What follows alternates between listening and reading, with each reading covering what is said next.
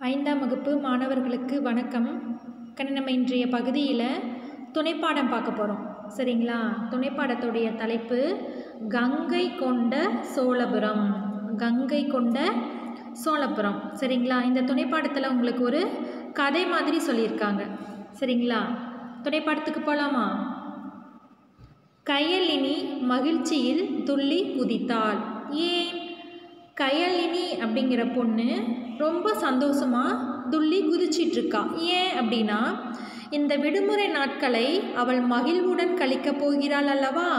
இந்த விடுமுறை நாட்களில் வந்து அவள் ரொம்ப சந்தோஷமாக இருக்க போகிறா அதனால்தான் அவளுக்கு வந்து ரொம்ப சந்தோஷம். சரிங்களா? அன்பு தரும் ஆசை பாட்டியின் ஊருக்கு புறப்பட தயாராகி விட்டாள். சரிங்களா? லீவு விட்டோனையுமே அவள் வந்து அவங்க பாட்டி ஊருக்கு போகிறதுக்காக தயாராகிட்டாள் வாருங்கள் குழந்தைகளே நாமும் அவள் மகிழ்ச்சியில் பங்கெடுத்து கொள்வோம். வாங்க ஏன் அவள் அவ்வளோ சந்தோஷமாக பாட்டி ஊருக்கு போகிறது வந்து? அவ்வளோ சந்தோஷமாக ஏன் வந்து கயலினிக்கு இருக்குது அப்படிங்கிறத பார்க்கலாம். சிதம்பரத்திலிருந்து ஜெயங்கொண்டம் செல்லும் சாலையில் தான் உள்ளது அந்த ஊர். சரிங்களா? சிதம்பரத்திலிருந்து ஜெயங்கொண்டம் செல்லும் சாலையில் அந்த வழியில் தான் இருக்குது அந்த ஊர். எந்த ஊர் அப்படிங்கிறத பார்க்கலாம். தன் தாயுடன் பேருந்தில் ஏறி ஜன்னலோரம் அமர்ந்து கொண்ட அவளுக்கு வாயெல்லாம் ஒரே பாட்டுத்தான். அம்மா அம்மா அவ கூட போகிறாங்க ரெண்டு பேரும் போகிறாங்க பஸ்ஸில் ஏறி ஜன்னல் ஓரத்தில் உக்காந்துக்கிறாங்க. சரியா? நம்மளாம் விரும்புவோம் இல்லையா? பேருந்தில் ஏறணும் அப்படின்னா ஜன்னலோரமாக உக்காந்துட்டு வர்றது வந்து பிடிக்கும். ஏன் அப்படின்னா அங்கே வழியில் போகிறது எல்லாமே வேடிக்கை பார்த்துட்டு போகலாம் இல்லையா? அதனால். சரிங்களா? அதே மாதிரி கயலினியும் என்ன பண்ணால் ஏறி ஜன்னல் ஓரமாக பார்த்துட்டு பேருந்தில் உக்காந்துட்டா. சரிங்களா?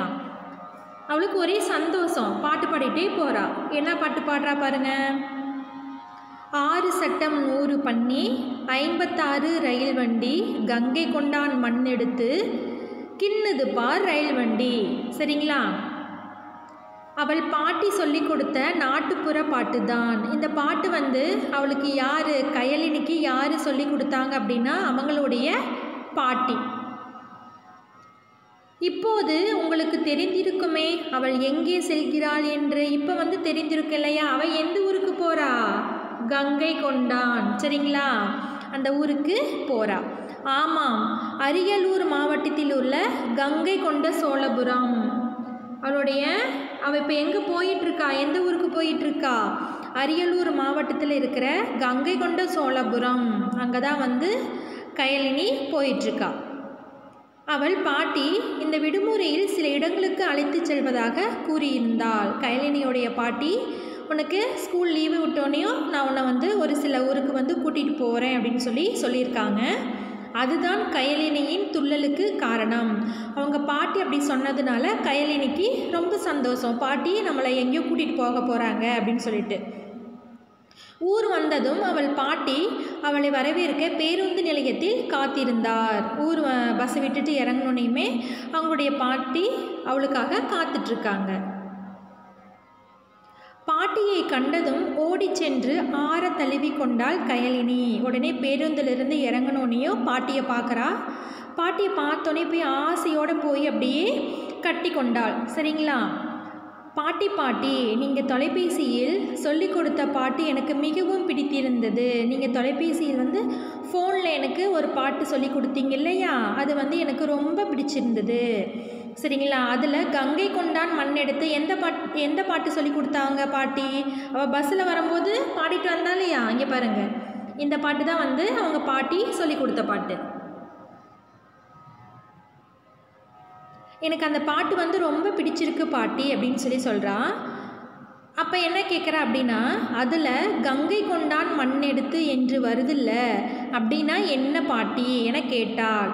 ஓ அதுவா? சோழர்கள் காலத்தில் தமிழ்நாட்டை ஆண்ட முதலாம் ராஜேந்திர சோழன் என்னும் மன்னன் வடநாடு சென்று பகைவர்களை வென்று கங்கை நீரை கொண்டு வந்தான். சரிங்களா? அதன் அடையாளமாகத்தான் அவனை கங்கை கொண்டான் என்று சொல்கிறோம். சரிங்களா? அந்த பொண்ணு கேட்டது கேள்விக்கு பாட்டி பதில் சொல்கிறாங்க அந்த வெற்றியை கொண்டாடுவதற்காகத்தான் உருவாக்கிய புதிய நகர் நகரத்திற்கு கங்கை கொண்ட சோழபுரம். கங்கை கொண்ட சோழபுரம் என் என்னும் பெயரும் வைத்து விட்டான் என்று பதிலளித்தார் பாட்டி. சரிங்களா? அடுத்தது பாருங்க. வெற்றி திரு வெற்றி திருநகரான கங்கை கொண்ட சோழபுரம் கங்காபுரி. கங்கை கொண்ட சோழபுரம் வந்து கங்காபுரி என்னும் கங்காபுரம் என்றும் புலவர் பெருமக்களால் போற்றப்படுகிறது. வெட் கங்கை கொண்ட சோழபுரத்தை வந்து கங்காபுரி அப்படின்னு சொல்கிறாங்க கங்காபுரம் அப்படின்னும் சொல்கிறாங்க கங்கா நதியும் கடாரமும் கைக்கொண்டு கங்காக புரி புரி பரந்த கற்பம் என்று ஒட்டக்கூத்தர் குறிப்பிடுகிறார். கங்கா நதியும் கடாரமும் கைக்கொண்டு கங்காக குறி பரந்த கற்பம் என்று ஒட்டக்கூத்தர் குறிப்பிடுகிறார். ஊரினுடைய சிறப்பை பற்றி சொல்லியிருக்காங்க. சரிங்களா? அடுத்தது பாருங்க. ஓ அப்படியா? நம் ஊருக்கு இப்படிதான் பெயர் வந்ததா? சரி பாட்டி எங்கேயோ அழைத்து செல்கிறேன் எண்ணி என்றீர்களே போகலாமா? சரி பாட்டி எங்கேயோ கூட்டிகிட்டு போகிறேன்னு சொன்னீங்கல்ல போகலாமா அப்படின்னு சொல்லிட்டு கேட்குறான். முதலில் சாப்பிட்டு ஓய்விடு பிறகு போகலாம் என்ற பாட்டி அவர்களை வீட்டிற்கு அழைத்து சென்றாள்.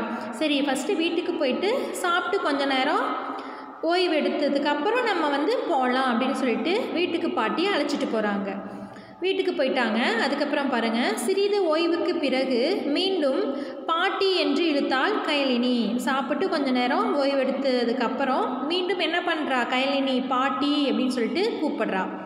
சரி சரி நான் புரிந்து கொண்டேன். வா போகலாம் என்று பாட்டி கூற இருவரும் சோழ நாட்டுக்கு வளம் சேர்த்த சோழ கங்கத்தை அடைந்தனர். ரெண்டு பேரும் எங்கே போகிறாங்க சோழ நாட்டுக்கு வளம் சேர்ந்த சோழகங்கத்தை அடைந்தனர். இதுதான் சோழகங்கம் இதுதான் இந்த இடத்துக்கு பேர் என்னது? சோழகங்கம் அப்படின்னு சொல்லி சொல்கிறாங்க பார்த்தாயா இதன் அழகை என்று பாட்டி சொல்லி முடிக்கவில்லை. அதற்குள் கயலினி பாட்டி இது என்ன பொன்னேரின்னு எழுதியிருக்கு? நீங்கள் சோழ கங்கம்னு தானே சொன்னீங்க என கேட்டாள்.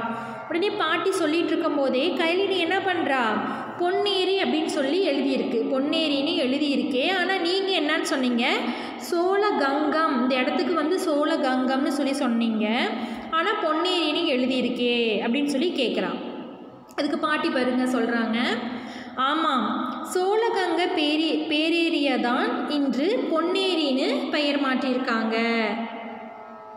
சோழகங்க பேரேரியதான் இன்று பொன்னேரின்னு பெயர் மாற்றியிருக்கு.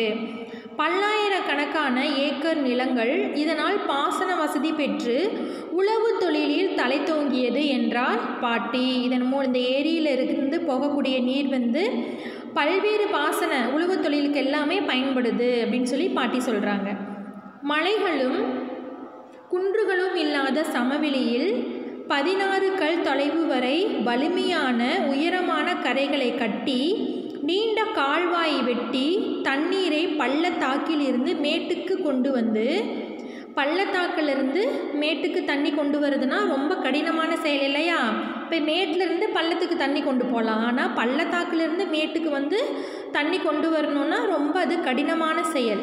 சரிங்களா?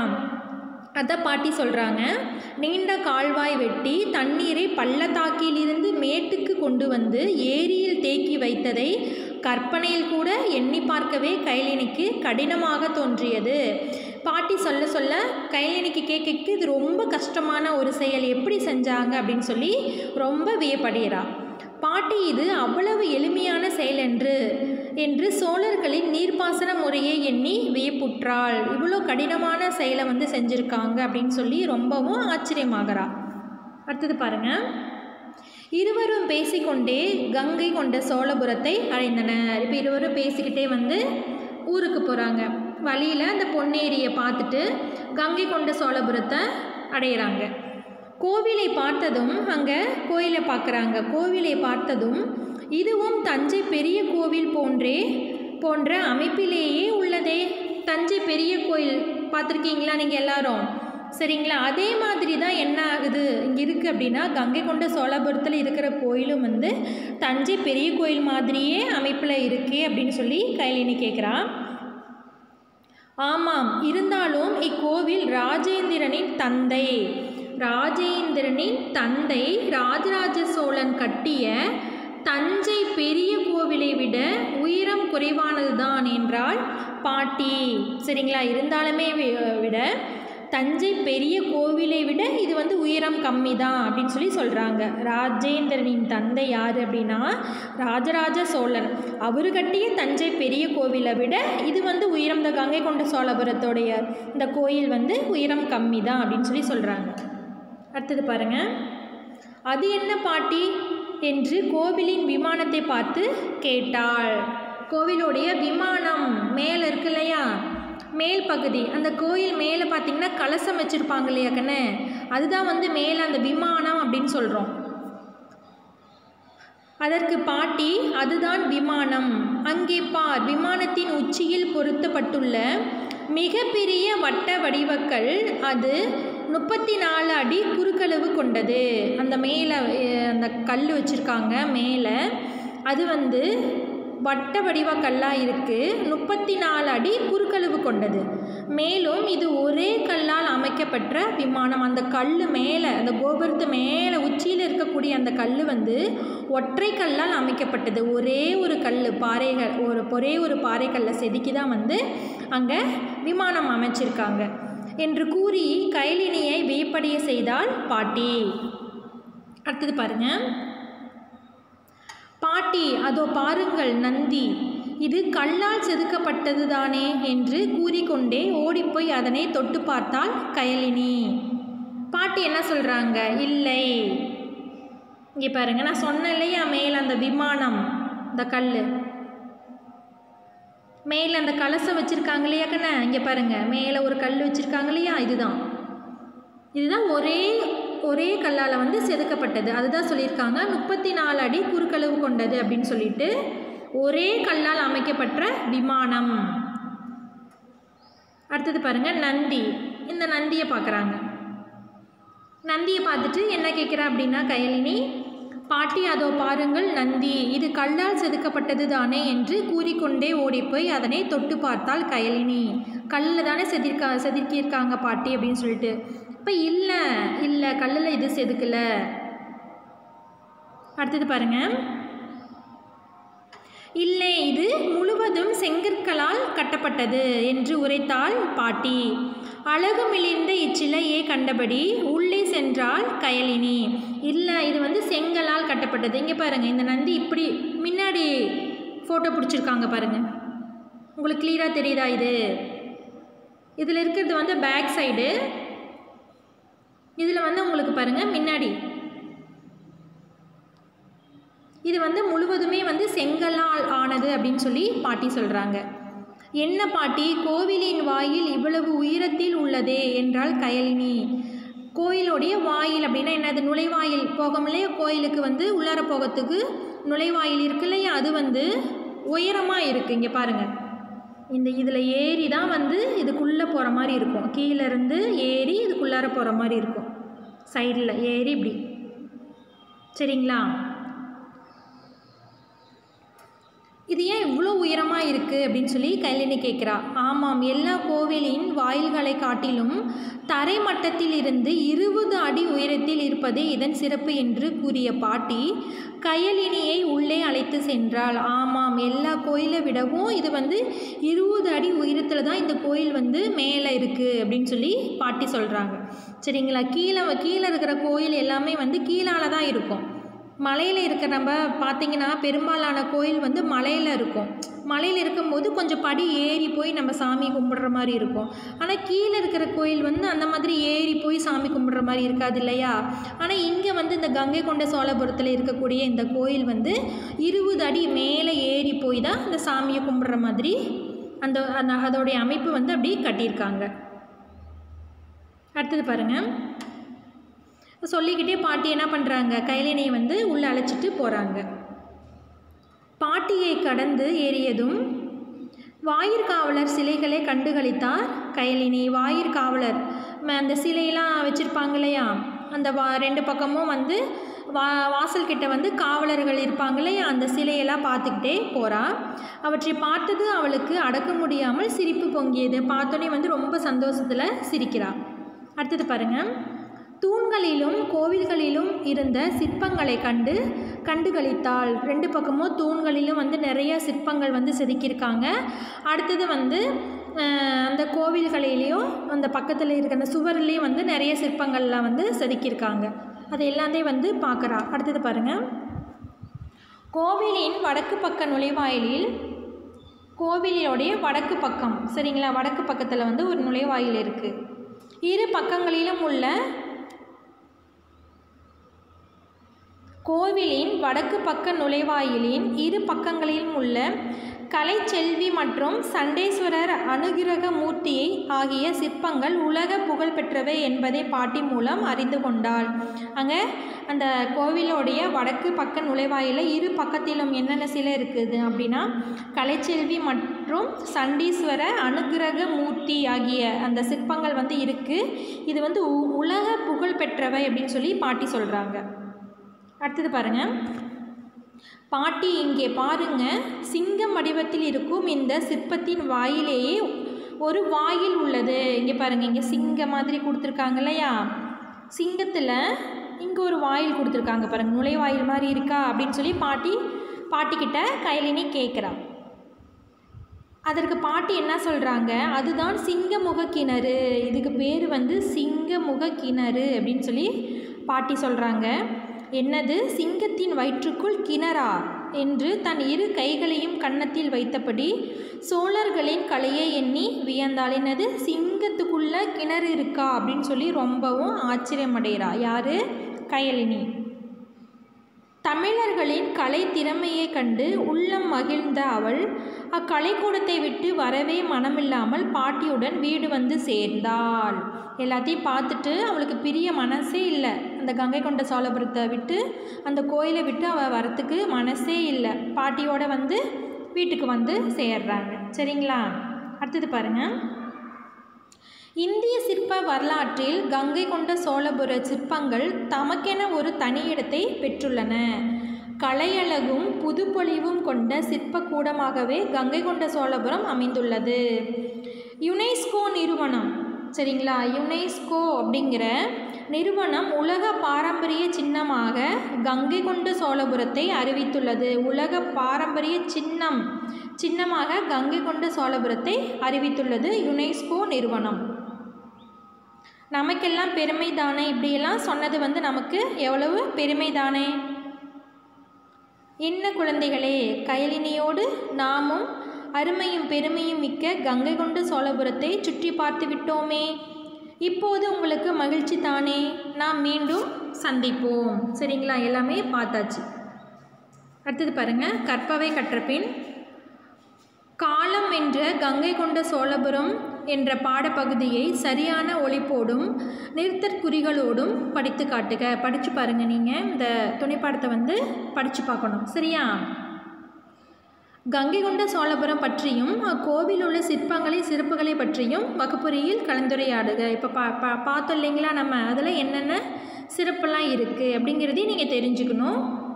நீங்கள் கண்டுகளித்த சுற்றுலா இடங்களின் சிறப்புகளை பட்டியலிடுக. இதே மாதிரி நீங்கள் வேறு எங்கேயாச்சும் டூரில் போயிருப்பீங்க இல்லையா? சுற்றுலா போயிருப்பீங்க. நிறைய பேர் தஞ்சை பெரிய கோயில் கூட போயிருப்பீங்க. மாமல்லபுரம் போயிருப்பீங்க.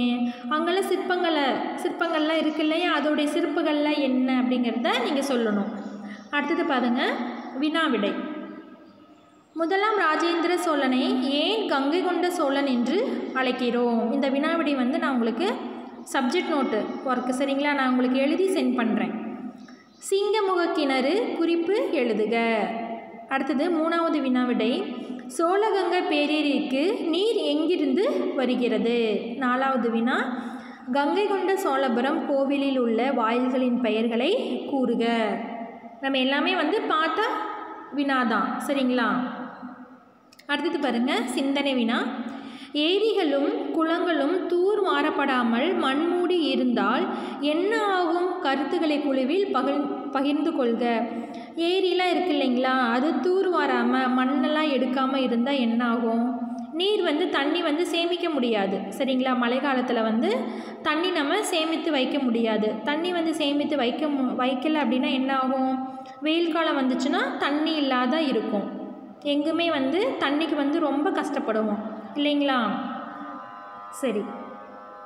கண்ண கவனிங்க. மேலே நடத்தின துணைப்பாடத்தை ஒரு முறை நீங்களும் வந்து படித்து பாருங்கள் ஓகேவா கண்ணு? மீண்டும் அடுத்த வகுப்பில் சந்திப்போம். நன்றி.